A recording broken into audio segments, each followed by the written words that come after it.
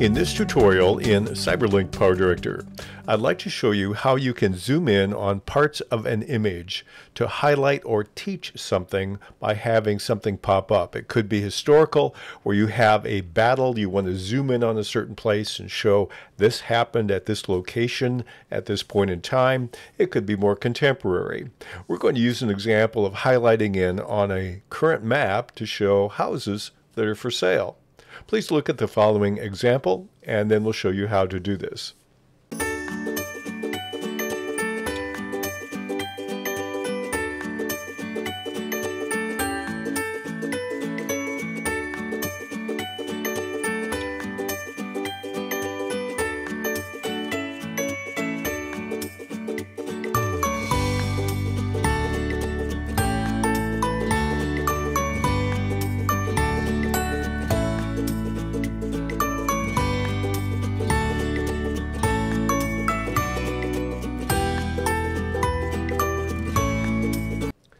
First step in the process is to have my image. It can be a picture, photograph, whatever.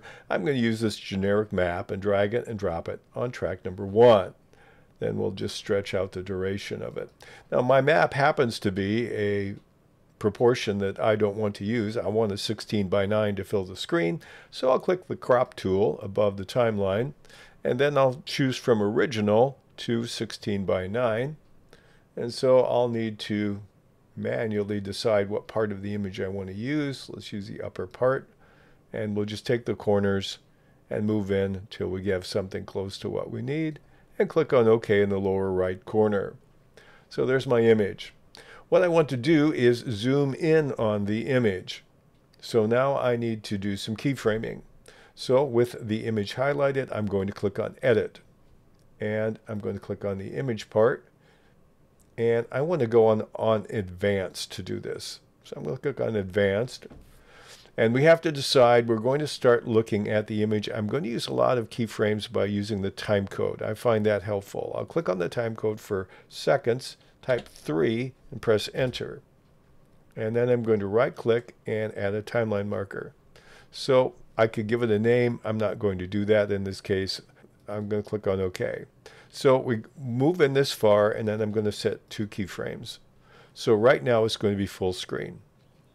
Then I'm going to go in, say, two seconds more, which will hit me at five. Press enter, add a timeline marker. And this is where I'm going to zoom into my first property. So I'm going to type in first property and click OK. So I'm going to be on that property, let's say for five seconds. That gives me 10. I'm going to pre press right click and add a timeline marker. And here we're going to say end first property. Okay, so now I have my timeline markers. I need to make sure I keep adding a position and scale keyframe at each of them. Okay, then we're going to back out so over here I'm at 10 seconds, so I'm going to go to 12, press enter, hit two keyframes again, and this is the time where I will zoom back. So I have a timeline marker here I need to set, right click, add marker, I'll put zoom back. Zoom full screen. And we'll say full screen for say two seconds. I'll hit 14 and right click a timeline marker. I don't think I want to give that a name. You see the process here. All right, so I'm back to full screen and then we need to zoom in again to another location. We'll go to 16 seconds. Right click, I do a timeline marker and I'll put in second property and click on OK and I need these two. And we're going to stay there for five so we're going to make this 21 and I'll do a timeline marker here and zoom out back out soon. And let's click OK. And we'll take two seconds to zoom out so that'd be 23 and right click okay zoomed out. And we set the timeline markers. Click OK and these values. Okay now what I need to do is at the timeline marker where I'm zooming in it would be from here to this one here. Now I got to change my my image here and then we're going to zoom in at that particular location. So I need to go to my object settings and in this case here we're going to zoom in let's zoom in to this location over here. I'm going to center it and then we're going to change the scale. I'm going to zoom in on this property. So that's the value here and this one all I need to do is right click and say duplicate from previous keyframe. And we'll take this one and we'll duplicate two. So now we're zoomed in for the length of time here. Now we're zoomed back out on this one for this duration. Now we're going to zoom in again to another location here. So I want to do zoom in on this one. Let's zoom in to this property over here. That'll be in the center of the screen. We're going to scale it up. Move around. Then we're going to right click on this one and we'll do I want to repeat the previous keyframe, duplicate, and we're going to duplicate the scale to there. So now I have that one. So now I have my motion. We're going to put our objects on the screen here in a minute, but let's see what we've got when we play this. We have our map. Okay, we're going to zoom in to location number one, and we hold that for five seconds, and then we come back out. All right, then we're going to zoom in on location number two, and then we'll continue playing that we're in location two. We'll zoom back out and we're full screen. So we can repeat this as much as we want. So let's stop there and let's go back and we have our image of a house. Now we're going to use this on a couple of places. Let's take this image and I'm going to take it on the first location. When we're zoomed in, there we have our house. I'm going to increase the duration and that's where the key keyframes and the markers are helpful. There's our house. Now I could have it this size. I could, I think I'll make it just a little bit smaller. So I need to edit it. So I click here and let's change the height and width just a tad. And let's change the location. Now I have my house. Now I want to change something about the house. I want to change the animation. I'm going to make it pop in. So click on this and it'll pop in. So that's a nice feature. So now I have an animated house. I also want to tell people about the price of the house. So we're going to add a title. So I'm going to go to my title room. I'll take the generic plain text my title, drag it down and put it in that same area. And I want to do some editing on it.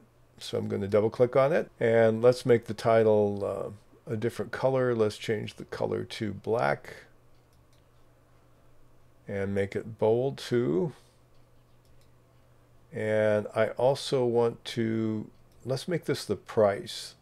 So I'm going to put a background behind it. Let's do this one. It should automatically give it a background.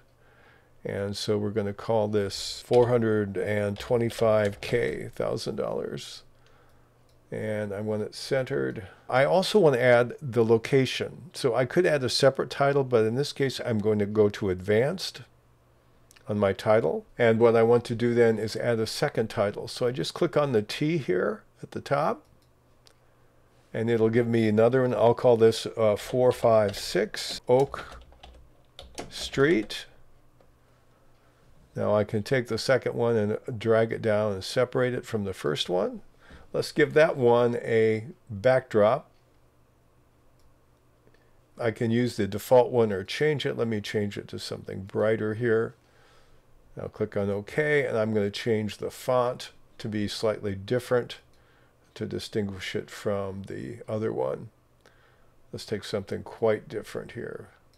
This one here, and I'm going to change the size down a little bit, maybe 14. So I have a, I have the title and I have the location. And we can tweak these all we want in terms of how they work with each other. So that is my price and that is my location. I'll click on OK. Now the other thing I want to do is make sure that they don't override each other. So we have our, look at our house here. And I might want to take the title and drag it, drag these down a little bit. They move together because they're on the same title track, which is what I want. So the house pops in, we have the price, we have the location. I want to add one more feature. I want to add an arrow showing whether the price has gone up or down. So to do that, I need to be in my overlays room and I want to go into the stickers. Now, I often don't think of these as stickers, but I'm going to go into the subcategory called tutorial creation down here, and then I have arrows. There are other stickers you can use. Let's take the red one. Okay, that's the one I want. And I'll put that on another track. We'll have it come in and stay. So I want to increase the duration of the arrow. Now the arrow's going the wrong way, so I'm going to turn it 90 degrees. I can change the height and width if I want to. Let's take it like this. We're not going to edit that in this particular tutorial. But now that I've got that done, I want to change a feature. I'm going to click on Edit. And let's change the way in which it, the arrow comes in. I'm going to use, I have a sliding 05, I believe here. Try that one. So there it goes. Okay, that's good. That's what I want. So I have all these features. Let's give myself a little more room down here. I have these three features together. I'm going to take them and I'm going to do Control C to copy. And I'm going to move in my uh, marker over to the next area. I'll move here where I have the second picture come in. It says second property. Do Control V to paste. And now the only thing I have to change in this one is go back into the titles and we're going to change the, the address. Okay, I've changed that. Let's change the amount and we'll leave we'll leave the arrow as though it, it also increased in price. Let's go back to the beginning. Let's play it and see what we have. Okay, we're going to see it. Zoom in on property number one. The house will pop up. The arrow will pop up. We have the address. And then it will pop back out to full screen.